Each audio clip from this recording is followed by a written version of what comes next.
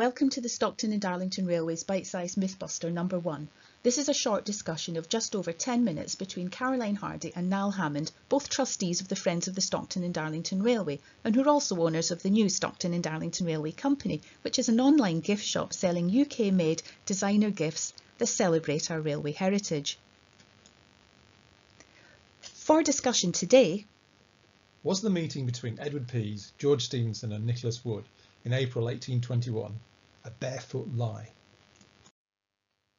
The story goes, on Thursday the 19th of April 1821, an important, life-changing meeting took place.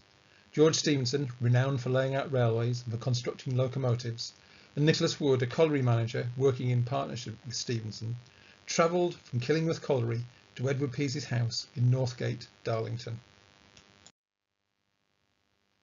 Here they hoped to obtain an interview with him about the forthcoming railway.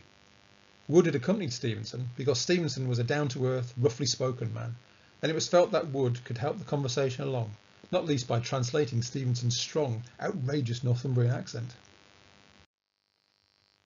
Wood and Stephenson had travelled by coach to Stockton, then walked along the proposed route of the railway to Darlington. Their shoes were muddy, so they sat on the Bulmer stone opposite, the glacial boulder of granite used to stand on by the town crier, and remove their shoes. They then approached Pease's house barefoot.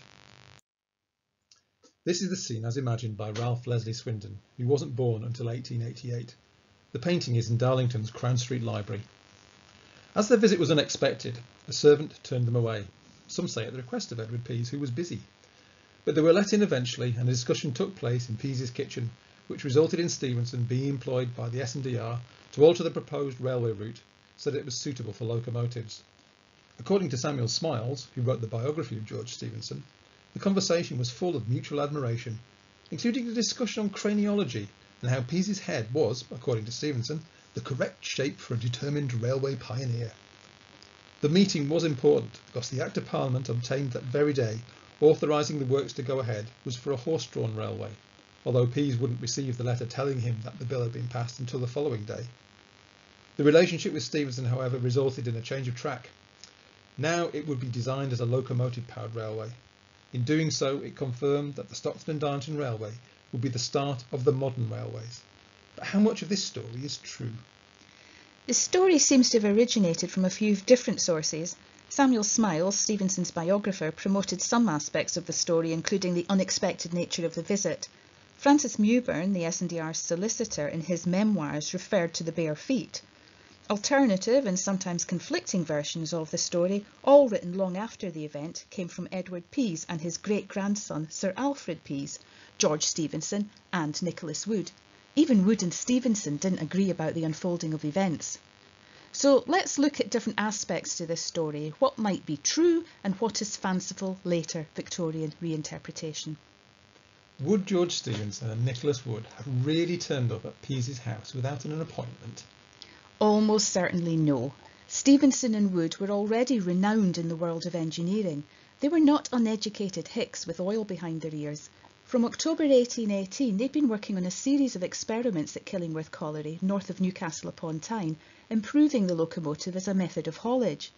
They explored resistance, compared the results to horsepower, the durability of rails, the consumption of fuel at different speeds, etc. Anyone who was involved in the design, surveying, building or financing of railways, tramways or wagonways at a relatively senior level would know about Stephenson and Wood. In fact, amongst many engineers to visit them and work on their experiments was Robert Stevenson. Robert Stephenson, George's son? This is Robert Stevenson with a V. He was going to be the grandfather of Robert Louis Stevenson, the novelist, who was born later in 1850. Anyway, back in 1819, he visited Killingworth to discuss, amongst other things, the Stockton and Darlington Railway. He'd been commissioned by the S&DR and Pease to check out the proposed route set out by George Overton in late 1818. The S&DR wanted reassurance from another engineer that Overton's proposed route was the right one.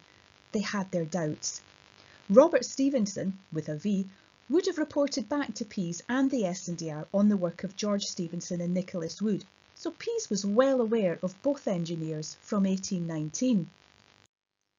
In fact, it was actually Pease who approached George Stephenson, not the other way around. He sent a special messenger, the surveyor John Dixon, to Killingworth in 1821 with instructions to update George on the S&DR and to invite him to Pease's house to discuss. That the interview took place by appointment was clearly stated by Nicholas Wood subsequently. So they had an appointment with Edward Pease because Edward Pease was already interested in the possible use of locomotives. Further, Stephenson and Wood were already employed by various companies. They certainly didn't need to look for more work. It is, however, fair to say that in the days before railway travel, time was maybe a little more flexible. An appointment would be made for a day, but there was a reasonably big window in possible arrival and departure times. So when Pease was expecting visitors that day, it could have been any time. Such wide windows for appointments would be perfectly normal. It is possible that the servant didn't realise that these two weary travellers were eagerly anticipated. So what about the barefoot bit? Well, their journey was on horseback from Killingworth to Newcastle, Five miles, then stagecoach from Newcastle to Stockton, 32 miles, then walking along the proposed route from Stockton to Darlington. 12 miles. They may well have changed their footwear into a clean pair of shoes at the Bulmerstone, but crossing North Road and knocking on the door in bare feet seems less likely. Francis Mewburn, the company's first solicitor, wrote his memoir in 1867, and he said that the pair walked barefoot from Stockton and then put on clean shoes at the Bulmerstone in order to visit Pease. Nicholas Wood, in a speech delivered in 1862, made no mention of bare feet either for the 12-mile walk from Stockton or the short walk across North Road. In 1848, shortly before he died, George Stephenson was wont to put pen to paper about the meeting, and not only did he not refer to bare feet at any point, he mentioned in passing that the journey from Stockton to Darlington was after dusk and in stormy weather with snow. Not the sort of journey to embark on with bare feet then. Uh, no. But to add to the confusion, his recollection was that having arrived in Darlington after dark, they stayed the night at an inn opposite the church, then visited Pease in the morning.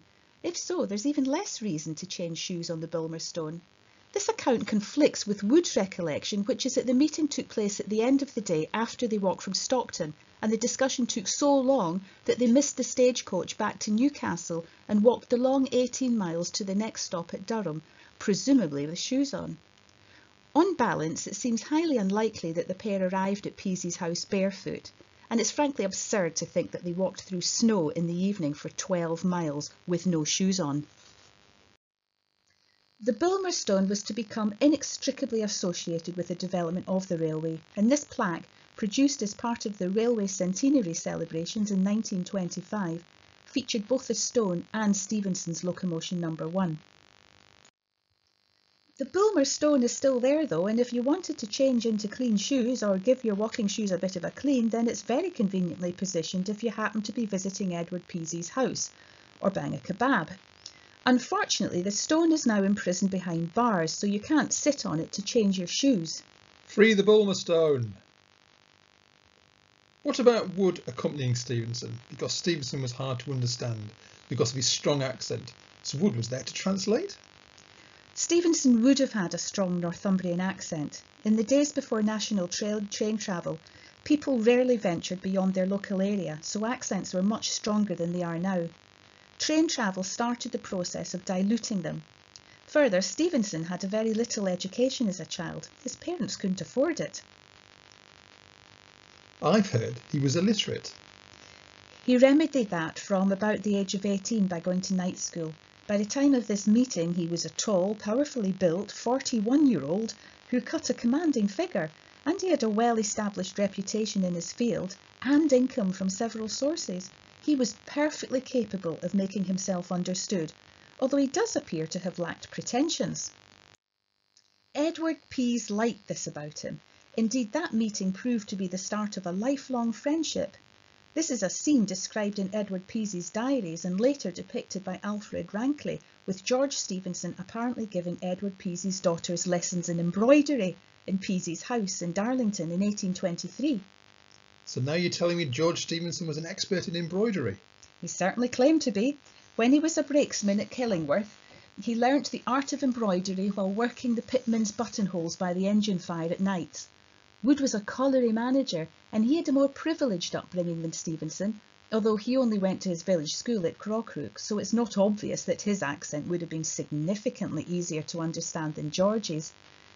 But it's more likely that Wood accompanied him because they were partners together in the experiments being conducted on locomotive power and the use of rails.